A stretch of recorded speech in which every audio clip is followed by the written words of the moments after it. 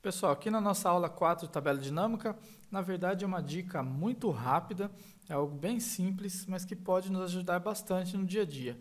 Quando nós colocamos um filtro aqui, na parte de filtros da nossa tabela dinâmica, a gente já sabe que ele vai aparecer aqui então, né?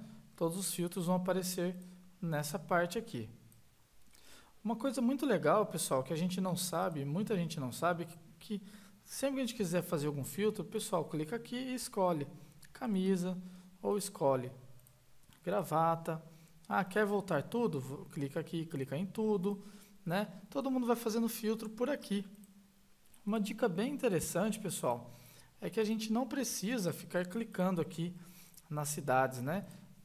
A gente pode simplesmente digitar aqui em cima, né? E dar um Enter. Meia. Pronto, ele já selecionou meia para mim. Gravata. Selecionou gravata para mim.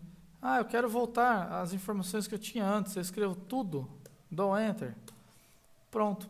Região Sul, cidade, Belo Horizonte. Pronto, não tem nada na região Sul, Belo Horizonte, certo? Então vou voltar tudo. Vou voltar aqui agora, Curitiba. Pronto, agora sim. Então, pessoal, olha que legal, a gente consegue ir fazendo esses filtros, digitando as informações aqui do jeito que a gente quiser. Então, vou colocar camisa na região Nordeste. Pronto, está feito o filtro. Vou voltar tudo, vou voltar tudo. Pronto, a nossa planilha volta ao normal. Então, essa é uma dica muito rápida. Espero que vocês tenham gostado aí, pessoal. E vamos seguir nessa série de tabela dinâmica, que está muito legal.